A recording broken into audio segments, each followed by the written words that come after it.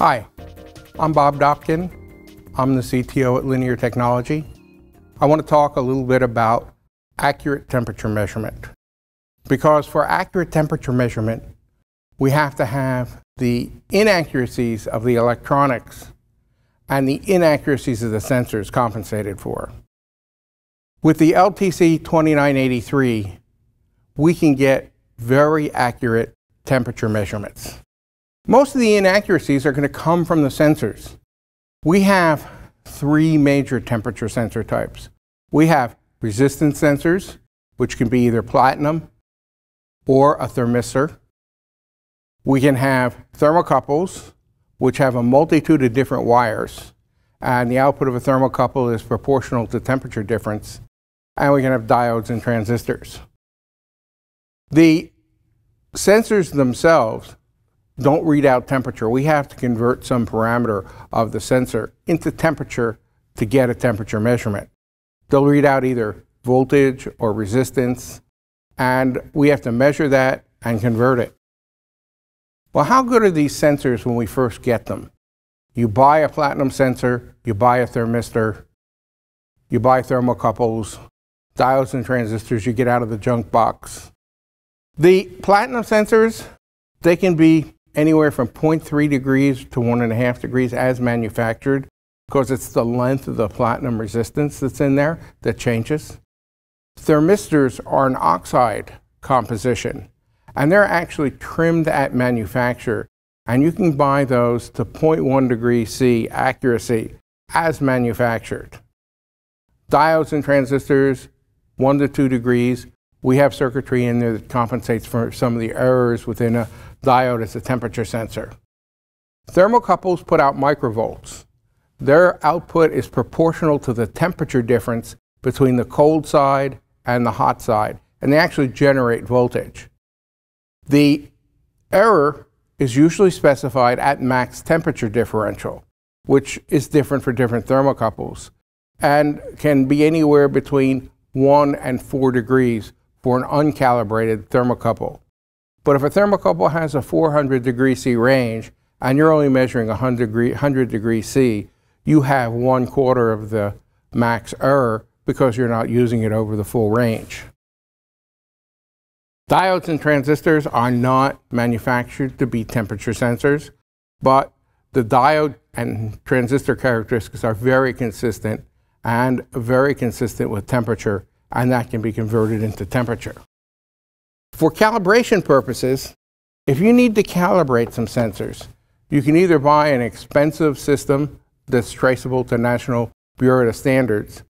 You can also buy some mercury and glass thermometers. These can be bought calibrated to better than a tenth of a degree. And in a water bath or an oil bath, they provide a pretty good standard for calibrating other types of sensors.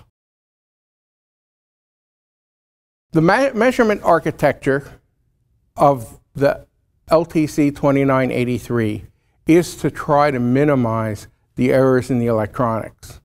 We're trying to get the best accuracy and conformity we can get between the input from a sensor to an output in digital temperature. So we've got architectures that try to minimize these errors. With a resistance sensor, you have to reverse the sensor current periodically, or else you'll get thermocouple errors from the sensor because the wires in the sensor generate thermocouples. You also have to keep the power low in the sensor, or else you'll have self-heating effects. Thermocouples, they put out very low microvolts, so you need amplifiers and circuits that are auto-zeroing so they do not add any additional error to the thermocouple. For measuring resistance, we don't measure the resistance directly, we measure the ratio of the resistance of the sensor to a standard high precision resistor, and that gives us the best accuracy for measuring the resistance and therefore the temperature. When we've got these temperature sensors, we have to do a lot of correction to turn the output into a real temperature. The sensors are not linear. They have offset. If this is the perfect sensor, they can be anywhere in a range. They need a scale factor because their output in terms of millivolts or microvolts per degree C is not always the same. So we have to provide offset correction, scale factor correction, and linearity correction, and that's all done in a digital processor in the 2983. So we, we aim to get the best accuracy we can in the electronics so that we throw all the inaccuracy back into the sensor. We call our device 0.1 degree C accurate, but it's really 0.1 degree C conformity because we can't tell you what the sensor accuracy is. We have a lot of sensors come with calibration tables.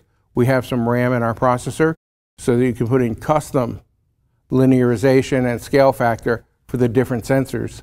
And you can end up with much better accuracy than the as manufactured sensors will give you. This is a partial block diagram of the LTC 2983.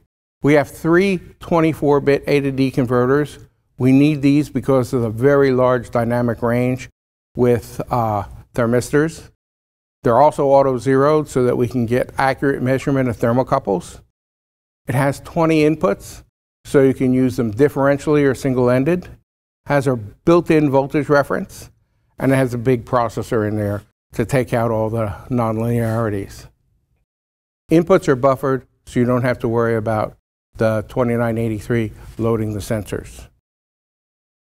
We've got a lot more information about the LTC 2983 on our website, www.linear.com. And we've got applications information with that as well. Thank you.